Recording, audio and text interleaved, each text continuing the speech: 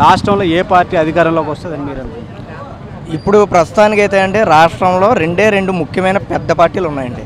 ఒకటి రౌడీల పార్టీ ఒకటి వెన్నుపోటు పార్టీ. మీకు పక్కగా అర్థమైపోయి ఉంటుంది జనాలకి రెండు పార్టీలు ఏంటని. ఎందుకంటే నేను మాత్రం జనసేన కార్యకర్తని పైగా జనసేన పార్టీకే ఓటు వేయడానికి నిర్ణయించుకున్నానండి. ఎందుకంటే దానికి కూడా కారణం ఉందండి. యూత్కి ఏ విధమైన ఉద్యోగాలు గత నాలుగున్నర ఏళ్ళ నుంచి కూడా గవర్నమెంట్ తీయలేదు.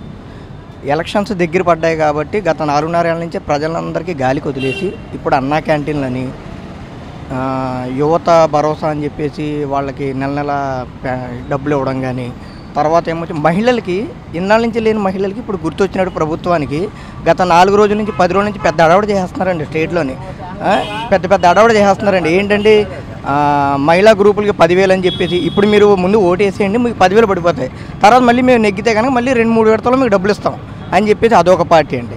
ఏమంటే ఇప్పుడు వైఎస్ఆర్ పార్టీ వాళ్ళు అయితే మాత్రం అమలు కాలేనివి కూడా నేను అమలు చేసేస్తానని చెప్పి వాళ్ళు చెప్తున్నారు. అంటే ఎవరి పార్టీ మేనిఫెస్టో ఎవరి పార్టీ ఆలోచన వాళ్ళకు ఉంటాయండి. కాదంట్లే. కానీ చాలామంది పెద్దలు ఇప్పుడు మాట్లాడిన వాళ్ళు అన్నారండి పవన్ కళ్యాణ్కి ఏ అనుభవం ఉంది? అనుభవం ఉన్న వ్యక్తికి మాత్రమే మనం అవకాశం ఇవ్వాలి చంద్రబాబు నాయుడు గారికి ఇవ్వాలన్నారు. తప్పు లేదండి. కానీ చంద్రబాబు నాయుడు గారు కూడా ఒకప్పుడు పవన్ కళ్యాణ్ గారిలాగా వచ్చిన వ్యక్తే కదండి. అతనికి కూడా ఏ అనుభవం లేకుండా రాజకీయాల్లోకి వచ్చిన వ్యక్తే కదండి. పుట్టుకతోనే ఎవరు కూడా రాజకీయ నాయకులు కారండి. ఇతను పవన్ కళ్యాణ్ అనే వ్యక్తి కొన్ని వేల కోట్లు ఆదాయం వచ్చినా సరే అతను వదులుకొని ప్రజల శ్రేయస్సు కోసం అతను ప్రజలకు ఏదో చేయాలన్న దృక్పథంతో royalty life luxury life range rover అలాంటి వెహికల్స్లో తిరిగిన వ్యక్తి ఎండల్లో గడ్డాలు పెంచుకొని తెల్లబట్టలు మన తెలుగు సంస్కృతికి విలువైనటువంటి పంచికట్టు కట్టుకొని ప్రజల్లోకి వచ్చి వాళ్ళ బాధలు తెలుసుకొని ప్ర జ- రాష్ట్రం మొత్తం తిరిగి మారుమూల గ్రామాలైన రంపచోడవరం కానీ మనకి ఏజెన్సీ ప్రాంతాలు అన్ని ప్రాంతాలు తిరిగి సమస్యలు కనుక్కొని ప్రజల దృష్టికి తీసుకొని వెళ్ళి అలాగే ప్రభుత్వాల దృష్టికి తీసుకొని వెళ్ళి ఇన్ని సమస్యలు మన స్టేట్లో ఉన్నాయని చెప్పి బయటికి తీసిన వ్యక్తి ఒక్క ఏకైక పవన్ కళ్యాణ్ గారు మాత్రమే. ఈ స్టేట్ బాగుపడాలంటే పవన్ కళ్యాణ్ గారికి అవకాశం ఇవ్వాలి. యువత బాగుపడుతుంది. మహిళలకండి మహిళలకి ఇప్పుడున్న గవర్నమెంట్ ఏమని చెప్తుందండి? ఏం మీకు డ్వాక్రా గ్రూపుల ద్వారా ముప్పై వేలు ఇచ్చేస్తా ఉంటున్నారండి పవన్ కళ్యాణ్ గారు ఇచ్చే బండ ఎంత అండి వాల్యూ? మహిళలకి ప్రతి నెల గ్యాస్ బండ ఉచితంగా ఇస్తానంటున్నారండి. పన్నెండు నెలలు అండి పన్నెండు బండలు ఇస్తారండి. పన్నెండు బండ వెయ్యి రూపాయలు వేసుకున్నాండి పన్నెండు వేల రూపాయలు ఖరీదు అవుతుందండి. రేషన్ బదులుగా మూడు వేల రూపాయలు ఖాతాలో వేస్తానంటున్నారండి. మూడు వే రెండు వేల ఐదు వందల నుంచి మూడు వేల ఐదు వందల వరకు కూడా వాళ్ళ వాళ్ళ కుటుంబ సభ్యులు ఉన్న వ్యక్తులను బట్టి వేస్తానని చెప్పారండి. మూడు వేల మూడు వేల రూపాయలు చొప్పున లెక్కేసుకున్నానండి. సంవత్సరానికి ఎంత అవుతుంది సార్? ముప్పై ఆరు వేల రూపాయలు చిల్లర అవుతుందండి. ఇవన్నీ చూసుకుంటారండి. లేదంటే ఇప్పుడు ఏదో ఓట్ల కోసం ఇచ్చే మనకి డ్వాక్రా గ్రూపుల్లో ఇచ్చే ముప్పై రూపాయల గురించి చూసుకుంటారండి. ముప్పై వదిలేస్తున్నారండి చంద్రబాబు నాయుడు గారు మళ్ళీ కట్టించుకోరండి అది. డ్వాక్రా గ్రూపుల ద్వారా ఇచ్చిన పదివేల రూపాయలు వదిలేస్తున్నారండి. ఫ్రీగా ఇస్తున్నారా చెప్పండి. ఫ్రీగా ఇస్తున్నారంటే నేను కూడా మా ఇంట్లో వాళ్ళ చేత ఇస్తాను. కట్టించుకోవడం మానట్లేదు కదండి. పొదుపు రూపంలో కట్టించుకుంటున్నారు. నెల నెల మూడు వేల రూపాయలు చిల్లర రూపంలో కట్టించుకుంటున్నారు.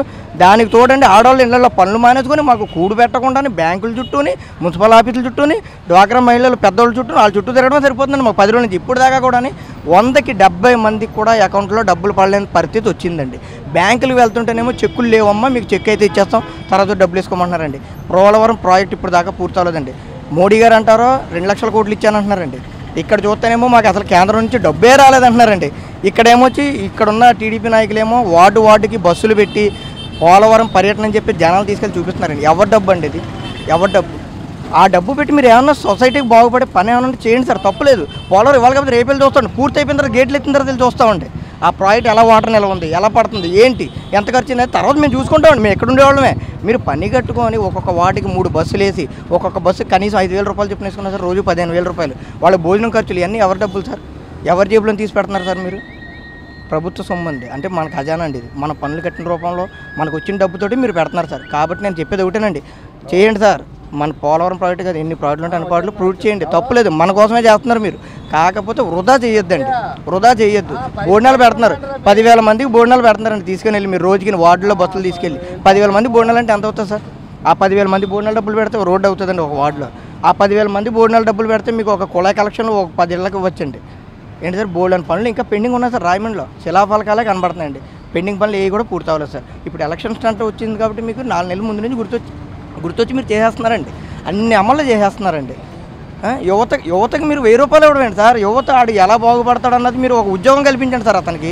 ఒక ఉద్యోగం కల్పిస్తే కుటుంబం బాగుపడుతుందండి. మీరు ఇచ్చే వెయ్యి రూపాయలు తీసుకుని అతను సినిమాకి వెళ్ళిపోతాడండి. ఆ వెయ్యి రూపాయలు తీసుకుని ఫ్రెండ్స్ ఫ్రెండ్స్ తోటి సరదా హోటల్కి వెళ్ళిపో బిర్యానీ తిని వచ్చేస్తాడు సార్. అది కరెక్ట్ కాదు సార్ అది. అది కరెక్ట్ కాదండి. ఆడికి ఏ విధంగా ఉద్యోగ అవకాశం కల్పించాలి? ఆడి స్కిల్ ఏంటి? ఆడికి ఎలా ఉంది? ఏ ఏ కంపెనీలో ఎన్ని ఉద్యోగాలు ఉన్నాయి అవన్నీ మీరు బయట పెట్టి మీరు చేయండి సార్. అంతేగాని యువకులు ఖాళీగా ఉన్నారు డిగ్రీ చదువుకున్న యువకుడు ఖాళీగా ఉన్నాడు అడుగు వెయ్యి ఇచ్చేద్దాం ఆడు ఓటు మనకే.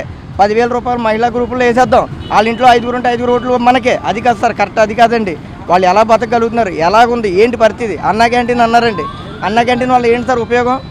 పది రూపాయలు జేబులో ఉంటే రోజు గడిచిపోతుందండి. ఆడి కష్టపడే తత్వం పోయింది సార్ జనాల్లో. జనాల్లో కష్టపడే తత్వం పోయిందండి. కష్టపడే తత్వం పోయింది సార్. ఇప్పుడు పది రూపాయలు ఉందండి. ఉదయం గడిచిపోతుంది మధ్యాహ్నం గడిచిపోతుంది సార్. ఇంకా పనికి ఎక్కడ వెళ్తాడు సార్ ఆడు? ఆ అన్నా క్యాంటీన్కి బదులుగానే మీరు ఏమన్నా రేషన్ మంచి రేషన్ ఇవ్వండి. తినేవాళ్ళు తింటారండి. అదే నా ఉద్దేశం. అలాగే కేఏ పాల్పు గారు కూడా ఈరోజు మధ్యన పార్టీ పెట్టారు. జనసేన కూడా వచ్చి కలమంటున్నారు. సో దాని గురించి ఆ పార్టీ గురించి ఏమంటారు? సార్ జనసేన వచ్చి కలవాలి అంటే సార్ ఆల్రెడీ ఇది వరకు చంద్రబాబు నాయుడు గారికి అనుభవం ఉన్నది అన్న విషయం మీదే పవన్ కళ్యాణ్ గారు చంద్రబాబు నాయుడు గారికి సపోర్ట్ చేయడం అయింది. గవర్నమెంట్ ఫామ్ అయింది. ఇది జాగ ఇది యావత్ ఆంధ్రదేశం ఎరిగిన సత్యం అండి ఇది. కాకపోతే అతను చెప్పిన హామీలు ఏవి నెరవేర్చలేదు కాబట్టి పవన్ కళ్యాణ్ గారు విభేదించుకొని అతని నుంచి బయటకు వచ్చి తను స్వతహాగా నేనైతే చేయగలను నా మేనిఫెస్టో అయితే ఇది నా పద్ధతి అయితే ఇదని చెప్పి ప్రజల్లోకి వెళ్ళడం జరిగిందండి. అయితే కేఏ పాల్ గారిది అయితే మాత్రం మనం అసలు మాట్లాడడం పని కూడా లేదండి. ఎందుకంటే సార్ అతను ఎప్పుడు చూసినా సరే నేను లక్ష కోట్లు తెచ్చేస్తాను పది లక్షల కోట్లు తెచ్చేస్తాను. నాకు అన్ని ప్రపంచ దేశాల్లో అందరూ ప్రైమ్ మినిస్టర్స్ నాకు తెలుసు. నేను అక్కడి నుంచి తెచ్చా తేండి సార్ ఏం మీరు ముఖ్యమంత్రి అయితేనే చేయగలరా? మీకు సోషల్ రెస్పాన్సిబిలిటీ అంటూ ఉంటే సోషల్ రెస్పాన్సిబిలిటీ అంటూ ఉంటే కనుక మీకు ఏమైనా సేవ చేయాలనుకుంటే పార్టీ పక్కన పక్కన పెట్టండి. మీరు సోషల్ సర్వీస్ చేసి చూపించండి. తర్వాత జనాలు మీ చుట్టూ తిరుగుతారండి. మీరు నేను అమీర్పేటలో పార్టీ ఆఫీస్ ఓపెన్ చేసేసాను వచ్చేయండి నన్ను కలిసేయండి. మీకు క్యాండిడేట్స్గా నేను ఇచ్చేసేస్తాను. పవన్ కళ్యాణ్ గారు మీరు కలిసిపోండి చంద్రబాబు నాయుడు గారు మీరు కలిసిపోండి అని చెప్పి మీరు చెప్పక్కర్లేదండి. మీరు సర్వీస్ చేసి చూపించండి. సర్వీస్ చేసి చూపించే మీ వెనకాల వాళ్ళే తిరుగుతారండి. అంతేగాని మీరు నేను ఇప్పుడు నేను నేను నాకంటూ పార్టీ ఉంది నేను కూడా ఇప్పుడు మీ ఈ మూడు పార్టీలతో తగునమ్మా అని చెప్పి నేను వచ్చేస్తానంటే ప్రజలు నమ్మరండి. నమ్మే రోజులు కూడా కాదండి ఇది. వీళ్ళంతా వీళ్ళందరూ దొంగలేనండి. ఎవరికాడు దోసుకునే వాళ్ళే దొంగలు. ఎవరికి వేయనండి ఓటుని? ఎందుకని? ఎవడు న్యాయం అన్నది ఎవరు చేస్తున్నారు? న్యాయం అనేది ఎవరికాడు సంపాదించుకుంటున్నాడు? సిజర్ బ్యాంకులు వేసుకుంటున్నారు డబ్బు అంత సంపాదించుకుని సిజర్ బ్యాంకులు వేసుకుంటున్నారు. ఎవరికి ఎవరు దాయం చేస్తున్నారండి? ఓటు అన్నది న్యాయంగా నడి నడిచేవాడు ధర్మంగా నడిచేవాడికి వేయచ్చండి అది అందరూ దొంగ దొంగలు అయిపోయారు కదండి. అంటే ఇప్పుడు పవన్ కళ్యాణ్ గారు రాజకీయాల్లో కొత్త వరేడి తీసుకొస్తానని చెప్పి అంటున్నారు కదా. సో ఆయనకి ఏమైనా సపోర్ట్ చేస్తారా? అంటే మరి ఒకసారి మేము చూ చూద్దామని అనుకుంటున్నామండి పవన్ కళ్యాణ్ని.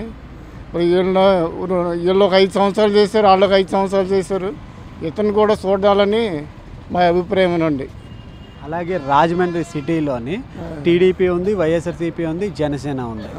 సో మీరు ఎవరికి ఓటేస్తారు ఈ సిటీలో అసెంబ్లీకి? పవన్ కళ్యాణ్కి వేస్తాం సార్. జనసేన పార్టీ. పవన్ కళ్యాణ్కి వేస్తాం సార్. ఓకే. రాజమండ్రిలో ముఖ్యంగా ఉన్న సమస్యలు ఏవని అనుకుంటున్నారు మీరు? మాది ఈ ఊరు కాదు సార్. నేను పొరుగురు నుంచి మాది అత్తిలండి సార్. మేము ఊరికి వచ్చాను నేను ఇక్కడికి. అంటే మీ ఊర్లో సమస్యలు ఏమున్నాయని మా ఊర్లో సమస్యలు అంటే మేము మేము ఏదో కొంచెం ఒక కాపులకి రిజర్వేషన్ గట్టా ఇవన్నీ కాపులకి చేస్తాను అని అది ఇది అంటున్నాడండి. మేము కాపు వర్గం అండి మేము. ఏదో చేస్తాడని ఏదో అభిప్రాయం మీద దాని మీద మేము కొంచెం మొక్కుగా ఆ- అతనికే చేద్దాం సపోర్టు. ఈ ఐదు సంవత్సరాల్లో వీళ్ళు చూసాము. వీళ్ళు ఎంత దౌర్జన్యంగా చేశారు? ఐ ఐదు సంవత్సరాలు కూడా పవన్ కళ్యాణ్ చూద్దాం అనే అభిప్రాయం మీద అనుకుంటున్నామండి. థ్యాంక్ యూ అన్న ఈసారి అధికారంలోకి ఏ పార్టీ వస్తుందని మీరు అనుకుంటున్నారు? జనసేన రావాలని కోరుకుంటున్నామండి. సో రాజమండ్రిలో ఏ పార్టీకి మీరు ఓటేస్తారు టీడీపీ వైఎస్ఆర్సీపీ జనసేన? టీడీపీ అంటే నమ్మకం పోయిందండి. వైఎస్ఆర్ అంటే మాకు అది కూడా నమ్మకం లేదు. జనసేనకి చేయాలనుకుంటున్నామండి జనసేనకి ఎందుకు ఇవ్వాలనుకుంటున్నారు అంటే కొత్త తరం పార్టీ చూడాలి. ఎప్పుడు పాతవే కదండి. అంటే వైఎస్ఆర్సీపీ కూడా కొత్త పార్టీయే కదా. కొత్తదంటే వాళ్ళ నాన్నగారు చేసిన దాంట్లో వాళ్ళ నాన్నగారు మంచిగా చేశారు. ఇతను అంటే ఇతని మీద ఫ్రాడ్ అయ్యే కేసులు అవి ఉన్నాయి కదండి. దాన్ని బట్టి ఎప్పుడు పాతదే జనరేషన్. కొత్త జనరేషన్ అంటే పవన్ కళ్యాణ్ గారు మంచి చేస్తారని అందరి అభిప్రాయం. అలాగే కేఏ పాల్ గారు కూడా జనసేనకి రమ్మని కలమంటున్నారు. అంటే మా మా నాయకుడు మా పవన్ కళ్యాణ్ గారు ఎవరికి మద్దతు ఇస్తారు ఎవరికి ఎవరండి. ఆయన గెలిచినా గెలవకపోయినా ప్రజలకి ఎప్పుడు అండగా ఉంటారు. ఆయన కాబట్టి ఎవరికి మద్దతు ఇస్తారనేది ఇంకా మాకు ఇంతవరకు తెలియలేదండి ఎవరికి ఎవరు కూడానండి. ఈ వీడియో కనుక మీకు నచ్చినట్లయితే లైక్ చేయండి షేర్ చేయండి సబ్స్క్రైబ్ చేయడం మాత్రం మర్చిపోకండి. Please subscribe to WiFi TV.